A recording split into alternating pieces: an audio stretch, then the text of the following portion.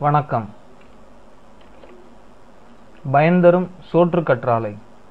கற்றாழையில் சோற்று கற்றாழை பெருங்கற்றாழை சிறு கற்றாழை கருங்கற்றாழை செங்கற்றாழை ரயில் கற்றாழை என பல வகை உண்டு. இதில் சோற்று கற்றாழை மருத்துவ குணங்களுக்கென்று பயன்படுத்தப்பட்டு வருகிறது. பச்சையாக உள்ள சோற்று கற்றாழை பல வகைகளில் உடல் வெப்பத்தை தணிக்கிறது. இதன் மருத்துவ குணங்களை பார்ப்போமானால் இதன் ஜெல்லை முகத்தில் தேய்த்து கழுவி வந்தால் முகம் பளிங்கு போல் ஜொலிக்கும். கற்றாழை ஜெல்லை பசு மோரில் கலந்து குடித்து வர உடல் சூட்டினால் முகத்தில் வரும் பருக்கள் வெயிலினால் தோலில் ஏற்படும் அலர்ஜி மற்றும் கருத்திட்டுக்கள் மறைந்து போகும். உடலில் கஸ்தூரி மனம் வீசும்.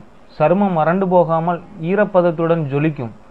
கற்றாழை ஜெல்லை சுத்தமான நீரில் ஆறு முறை கழுவி சுத்தம் செய்து தினமும் காலையில் வெறும் வயிற்றில் சாப்பிட்டு வர உடல் சத்து கூடும் இளமை என்றும் நீடித்திருக்கும்.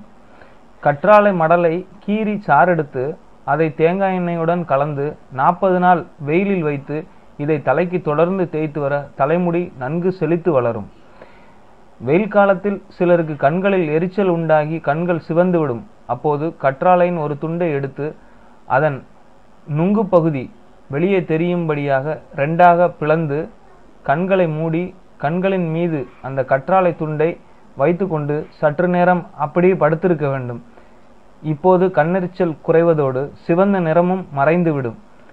இதை இரவு நேரங்களில் தூங்குவதற்கு முன் செய்து வந்தால் நல்ல உறக்கம் வருவதோடு உடலுக்கு பல நன்மைகளும் கிடைக்கும்.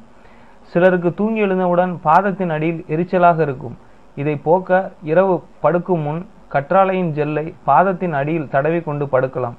பாத எரிச்சல் குறைவதோடு பாத வெடிப்புகளும் குணமாகும். சோற்று கற்றாழையில் செய்த தைலத்தை தலைக்கு தேய்த்து குளிப்பதால் உடல் சூடு எரிச்சலும் குறைந்து உடல் குளிர்ச்சி அடையும். உடலில் எந்த பிரச்சனையும் இல்லாதவர்கள் இந்த எண்ணெயை தினமும் தலைக்கு தடவி வரலாம்.